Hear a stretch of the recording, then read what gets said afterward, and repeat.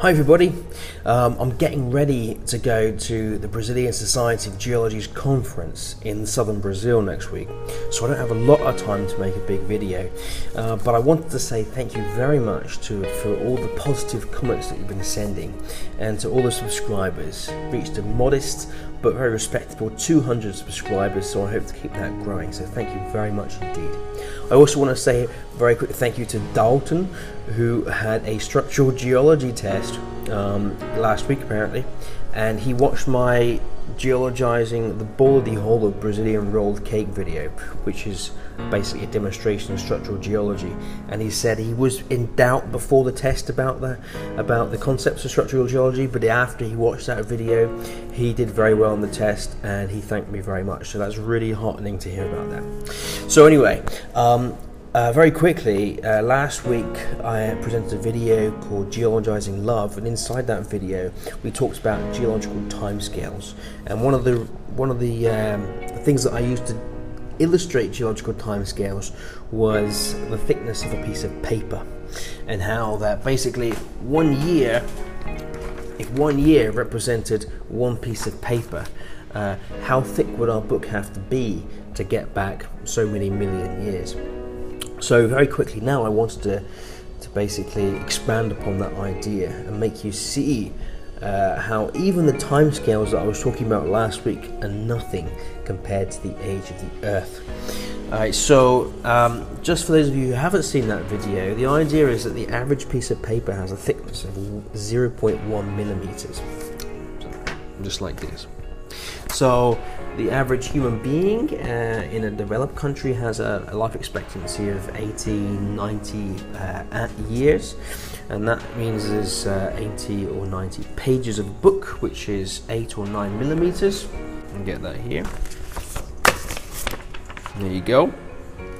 And let's get over here 500, give or take, pages of a book. There it is. That's a pretty thick book. So if you were to go back in time, you know, each page representing one year, 500 pages, you would find some pretty cool stuff happening. You have, well, not so cool, the expansion of the Ottoman Empire, the start of the Protestant Reformation, and Leonardo da Vinci uh, died. So, you know, some interesting things happening 500 years ago. But that's obviously nothing compared to, for example, the history of all human uh, writing, or at least complex writing systems, such as in Mesopotamia, was the example I used in the last video. That was about 5,200 years ago, which means our book would have to be 52 kilometers, sorry, 52 centimeters thick to get back to ancient Mesopotamia. But that's actually nothing compared to the age of our species, for example. Paleoanthropologists disagree, but estimates range from 100 to 200,000 years ago. That's when the first Homo sapiens, our species, actually appeared and remained morphologically, anatomically identical to how we are today. So let's take an average of that. Um, 1,000, uh, yeah, 150,000 years. We'll multiply that by 0.1 millimeters and you get 15 meters. That's how thick our book has to be to get back to the beginning of our species. But even that is nothing compared to, for example, um, the first uh, apes or primates that walked upright. That was about 4 million years ago. To get back 4 million years, our book would have to be 400 meters thick. Pretty darn thick book. But even that is nothing compared to, for example, the KT boundary, which is when the dinosaurs went extinct 65 million years ago. How thick does our book have to be to get back 65 million years? 6.5 kilometers. Wow. That's actually pretty thick.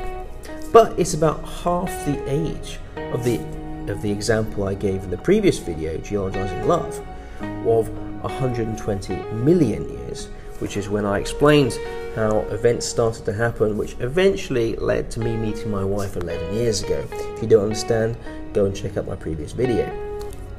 But that was 12 kilometers. That's how book would, thick our book would have to be.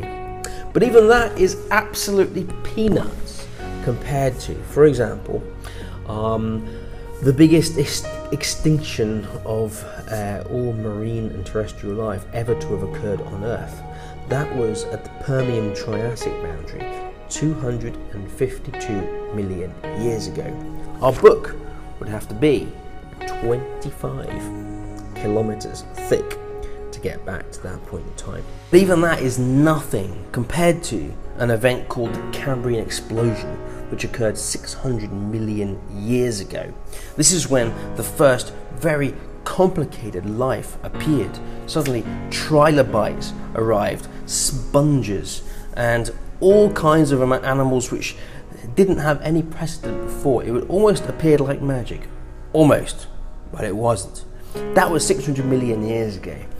How thick did our book, would our book have to be to get back 600 million years? You got it. 60 kilometers. Well, that's pretty thick. All of complex life? Actually, that is nothing compared to the very first indications of life we have on Earth. Geologists refer to a curtain that comes down over the geological record after a certain point. It means that when things get too old, billions and billions of years old, then the rocks get deformed, metamorphosed, and it, the signal gets very distorted. It makes it very difficult to make exact interpretations and conclusions.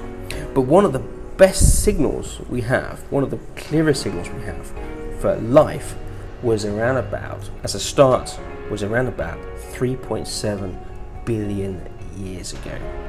3.7 billion years multiplied by 0.1 millimeter is 370 kilometers. That is a very, very thick book. And it is old. Even compared to the age of the universe, it's pretty old. The age of the Earth is 4.5 billion years, give or take. So that's 450 kilometers.